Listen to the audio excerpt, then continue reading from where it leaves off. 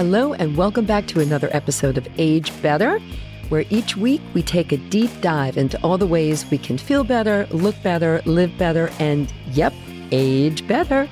I'm your host, Barbara Hannah Grufferman. A few weeks ago, I read a terrific article written by Richard Eisenberg, who's my guest on the show today. In it, he talked a bit about the different paths that people tend to take when they retire. Some go on to other jobs, even starting a company. Many find ways to serve by doing volunteer work. And yet others decide to take the self improvement route and go back to school. In his article, Richard wrote about one school in particular that I found pretty fascinating. And that's what we're going to be talking about today. Here's a little background info about Richard. He's a distinguished journalist who has spent a significant part of his career focusing on work and finances specifically for the over 50 crowd. He's held senior editorial positions at Money Magazine and Next Avenue, and now writes articles for many different publications, including Market Watch, which is where I saw the article. Definitely check out the link to the article and to some other things that Richard has written in the show notes. Whether you're thinking about retiring, already retired, or even just a little curious about this stage of life, this episode is definitely for you. So, you know what to do. Pop in your earbuds, maybe sit down or take a little walk while you're listening and enjoy this episode. Stay tuned.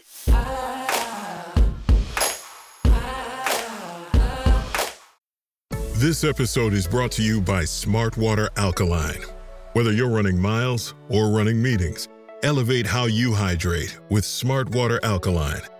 It's the hydration that fits perfectly into an active lifestyle and your backpack or hand. It's simple rise, grind, alkaline. Elevate how you hydrate and pick up a Smartwater Alkaline today.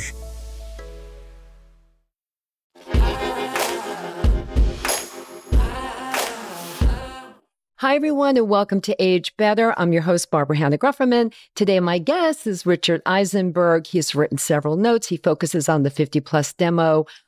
He has had some very senior positions, editorial positions at Money Magazine and Next Avenue. And he has a podcast. There'll be links to all of this in the show notes, but he also calls himself an unretired journalist, which I really, really, really love. Welcome to Age Better, Richard. Thank you, Barbara. It's great to be here. So I was really intrigued by your article that I caught. I mean, I've been following you for years, so I see just about everything that you write and put out there.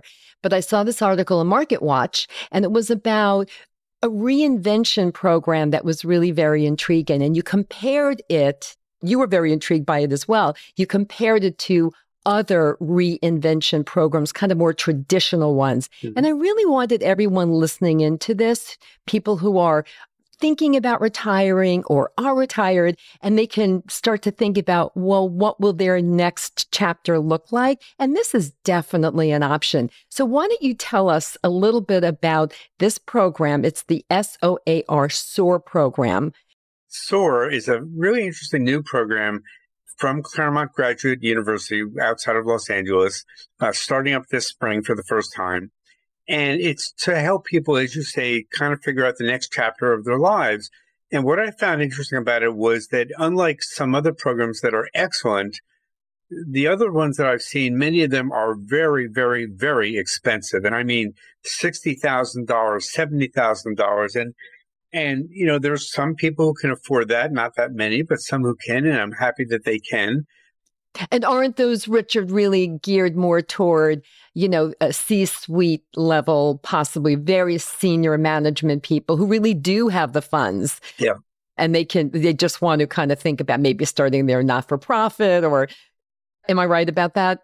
That's typically true. You know, Stanford has one, Harvard has one, Notre Dame has one, yeah. University of Texas.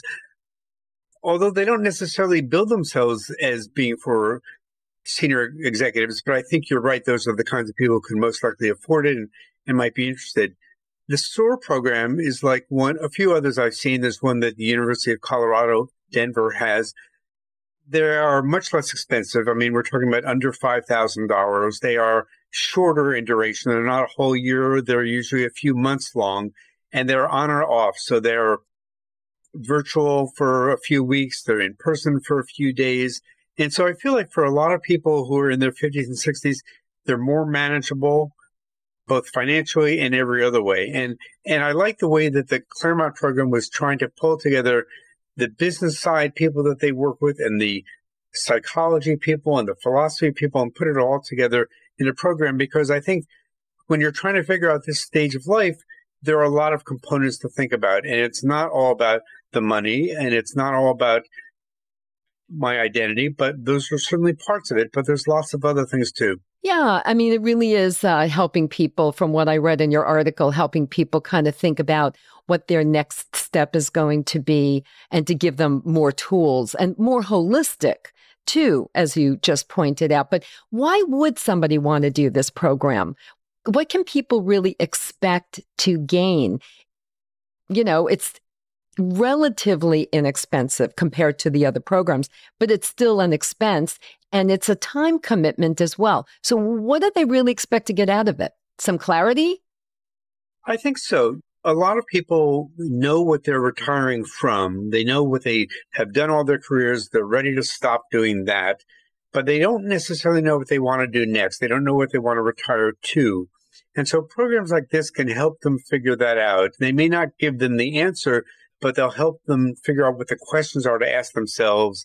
And really, what I think is really one of the big pluses is you'll get to be with other people like you who are also going through the same experiences and challenged with it and hear from each other. Well, I'm thinking about that, or I tried that, or I'm nervous about that. And you'll see you're not alone and you'll see what other people have tried and what you might want to think about doing and you'll give them some of your ideas. So you'll learn from the teachers but you'll learn from the students too. Yeah and it sounds also like you did mention that it's hybrid so you can be virtual or you can be in person is it well, required? It is both. So it's like a bit of a requirement. Yeah. And you did mention this particular program is that outside of LA, outside of Los Angeles. Right. So you have to be in that area. Are there at this time other programs like this one? Or is this really unique and kind of like a test to see how they can roll it out and maybe other universities, colleges can adopt the model? Or? Well, so the programs that places like uh, Stanford and Harvard are on campus that are not virtual. Right. And so you have to you need to pay for a place to live, and they're usually about a year long. There are a few other programs that are like this where you only need to be on campus for a few days, and a lot of it is virtual.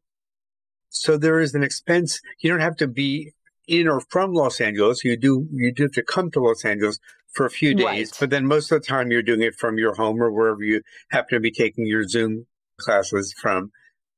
So, but they like to have people on campus for a couple of days, partly to just have everybody together in one room and also to sort of ex- have the Claremont graduate experience. But they also realize that people have busy lives and they can't relocate for a long period of time in many cases. So they wanted to do a mixture of the two. And, and, you know, they've never done it before. So they're going to see how it works out. They've done a lot of focus group, a lot of test marketing before this to find out what people might want. But I think they've said to me that they're going to find out after the first cohort goes through it, you know, is this the best way to do it? And should we do more days in person or fewer? Should we do more virtual or fewer or keep it the same? And so, you know, I'm curious to see how it goes for them. Yeah. And it's really a smallish group, isn't it? Like 25, 30 yeah. people. I mean, it's not a. That's right. And that's typical for many of these programs. I'd say anywhere between, say, 12 and, and 40 people. You don't want it to be so large that you sort of you lose yourself in it and there are too many other students, but you don't want it to be just you and one other person either. So I think I think that financially it just makes sense for everybody for it to be on the small side. It's personal that way. Sure. But enough people that you can gain from the other students too, I think. And it really makes sense too to have it be hybrid because that really is a reflection of how so many businesses now operate. I'm thinking of my own two daughters. Both of them are one more so than the other. One is in the office more, the other one is more virtual. but, you know, right, hybrid right. does seem to be what's working. And I think what a lot of people have gotten quite used to in recent years your article does touch on transitions as part of the SOAR curriculum, the program. And what are some of the, um, because you focus on this demo, that's what you do. What are some of the challenges, the most common challenges that people kind of working their way to retirement, or maybe they are retired? What do they really confront mostly that this program tries to address? Yeah. Well, I think a lot of it is trying to find meaning and purpose at this stage of life because for a lot of people, either they haven't thought about that before or they got meaning from their work and now they don't have that job anymore. And so some people get a little bit lost and sometimes there's a loss of identity. So I think a program like this is designed to kind of help you find your meaning and purpose in life and what you want to do with yourself. Some people get very depressed and lonely and isolated um, when they're in this stage of life because they're so used to being around a lot of people and now they're not. These programs because you're with other people, whether it's virtually or in person, you're at least with a group of people for a given amount of time, you know, either one day a week or a few days in a row. So you're not by yourself all the time. I think those are the main challenges. Mostly, I'd say it's about figuring out how do you want to spend your time What's going to excite you? What's going to make you want to get up in the morning? There's a Japanese word that I've written about that I love called ikigai. Yes, yes. Uh, I love it. Too. I love that you yeah. wrote about it and you referenced it and say it again because I think I just talked right over you. Say it again. Okay. well, it's called ikigai, and forgive my pronunciation, but I'll spell it. It's I K A G A I. It's a Japanese word that loosely translated means the reason to get up in the morning. And I think that's what a lot of people in this chapter are struggling with, but need to find. And once they do find it, it makes all the difference. And it doesn't have to be one thing. And it may also be something that changes over time. But for a lot of people, they say, well, I want to get motivated in this way. It, to, I want to help other people. I want to help myself.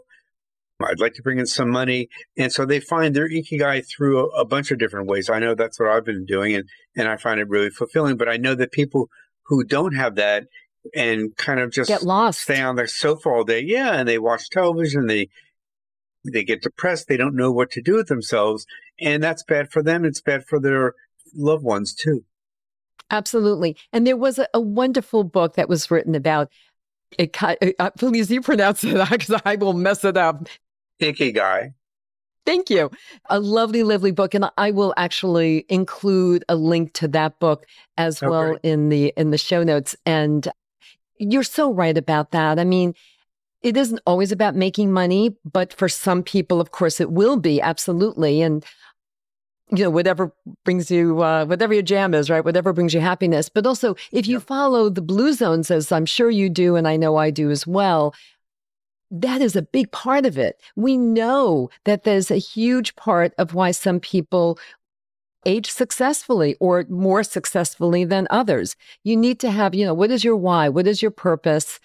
And it's so, so incredibly important. I always like to hold myself up as an example. I know you do too for me, this is my third career. I had a very successful career in magazine publishing. Then I moved over to the international conference business and, you know, running a company, really happy doing both of those things. And then I hit 50 and I had to, didn't have to reinvent myself, but I, I went through menopause and just had a whole kind of outer body experience of like, what mm. is happening here? Mm-hmm and then wrote my first book and then for me the rest is is history. So for 17 years i've been in this world of of you know positive aging.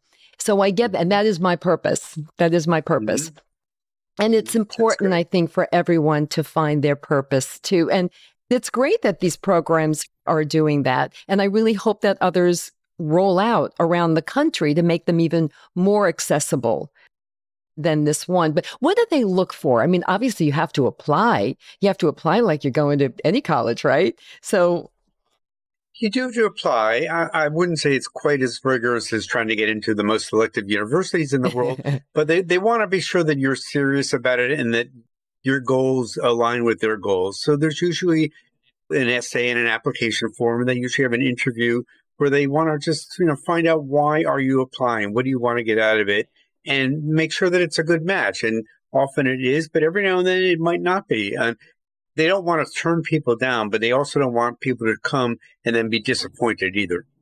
Right. And that makes total sense completely. Okay, let's broaden our focus for one minute from your perspective as a journalist specializing in work and finance primarily. I mean, that really is your, your kind of your main focus and specific yeah. to people who are a retirement age or midlife 50 and over. So what are some of the emerging trends that you're seeing in retirement planning that you may want to share with us? Well, I think the one that I'm most excited about, but I'd like to see more of it, is when financial advisors work together with retirement coaches or life coaches with their client, because I think for a lot of people, when they think about retirement planning, and certainly in the financial community, it's usually all about do I have enough money? What's my number? And am I going to, you know, outlive my money? And, and while that's really important, that's not all of what you should be thinking about. And the financial services industry, by and large, traditionally has not thought beyond that but they're starting to. So every now and then there are some, I would say, typically smaller financial planning service companies that are aligning themselves with retirement coaches or life coaches, and they bring them in. And so the client gets to hear from both of them, and they all talk together. And so they're figuring out a way to get the money side right, but also to get the psychology side right. And and that's a trend that I really am excited about. I, I hope we'll see more of it. That's really terrific. You know, about six months ago or so, I had as a guest on my show a woman who is the she, she was at Bank of America for many many years and went back to Bank of America she went back to school because her why said, I want to learn more about aging. And she became a gerontologist. And she went oh. back to Bank of America to head their very first kind of department of gerontology with a focus on obviously this demographic. And I thought that was a really nice trend. And she did talk about the psychology of it and what's important to you and making sure, of course, that you had enough money, but mm-hmm. to kind of expand your horizons a bit as you're looking at retirement. So I agree with you. I think this is a trend and I, I hope it continues also. So is there anything you want to share with this audience about just retiring in general? Like, what are some of the things you really want to be looking at? How do you know when it's the right time? You have extensive experience in this field. Well, thank you. Uh, you know, I'm lucky that I spent many years writing and editing about that kind of thing. So I learned a lot from people who knew a lot. But then I don't think anything quite prepares you for actually living it. And so when I I'd been the managing editor of Next Avenue. That's the PBS site for people over 50. I was part of the launch team. I was there for 10 years. And I just decided in 2022, I turned 65 and I felt like it was time to walk away from that job and figure out what I want to do with my time and, and have the time to do other things. And I feel like a lot of people, when they reach that age in their life, give or take, think that that's about what they're looking for too. They want to experiment and try some things. And and for me, and for I think a lot of people, some of that is part-time work, but some of it is volunteering, and some of it is mentoring, and some of it is spending time with your family, and some of it is traveling, and some of it is reading and relaxing.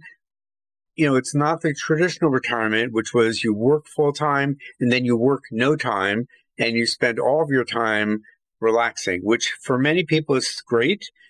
I'm not saying there's anything wrong with that, but for a lot of us, that's not enough. It's not the way. So we need, yeah, and and so we need something else. But it's it's a little tricky when you're first starting that because you're looking at a blank calendar. You're so used to knowing what your days are going to be like because you're working for somebody else who's told you what your day's going to be like, and these are the meetings you have to go to, and these are the to-do list assignments you've got to get done.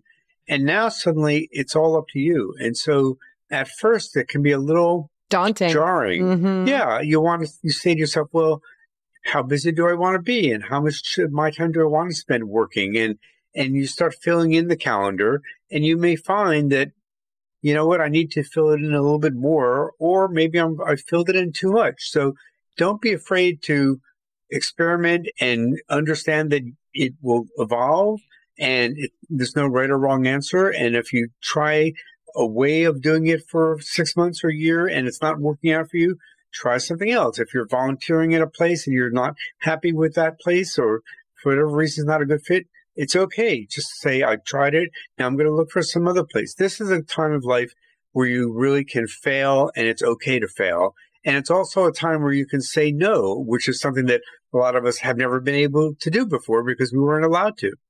Yes, that's a really, really good point. And one thing I really hope that programs like SOAR and others are really incorporating into the program is creating the sense of being fearless. You said the yep. word don't be afraid, same thing. Be fearless. I mean, when, right, you and I, I'm sure can both agree when we think of our own lives and evolution to where we are now, as like if we had been afraid, if you had been afraid to like leave that job and become a, an unretired journalist, then you wouldn't have done it so easily. Right. But you were fearless about it. And I really feel the same way. And it's not easy.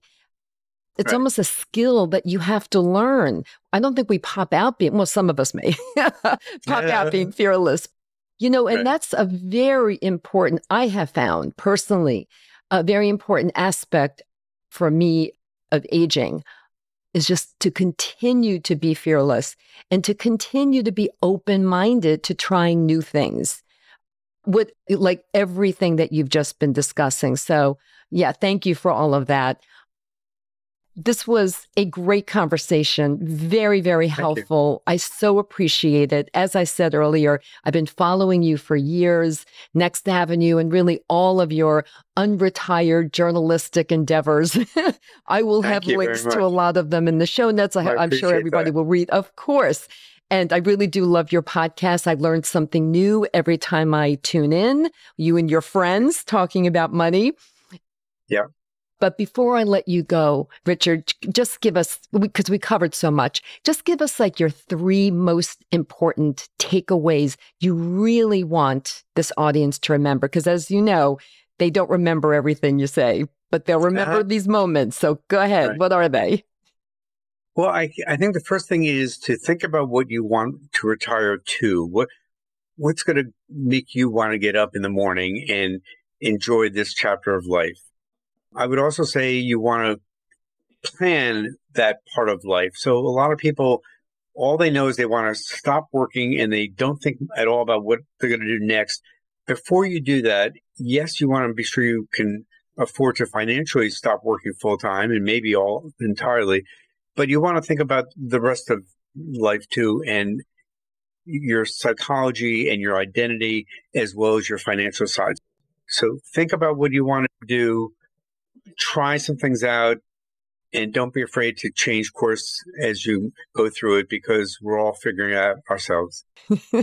really, such great advice.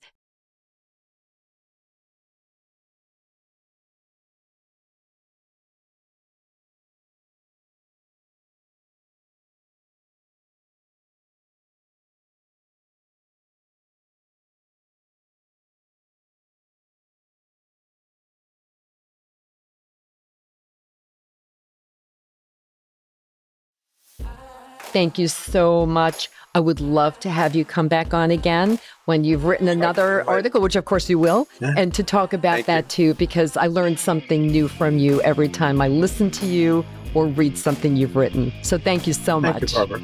Thank you so much. Thanks for tuning in, everyone. If you enjoyed this episode of Age Better Podcast, please do a few things. First, Share it with all your friends and family. Then subscribe to Age Better wherever you listen to podcasts, including YouTube, so you never miss a single episode. Finally, if you have ideas for topics you want me to cover in a future episode of Age Better, send an email to agebetterpodcast at gmail.com or reach out to me on social media. Until next time, remember this we can't control getting older, but we can control how we do it. Talk to you soon.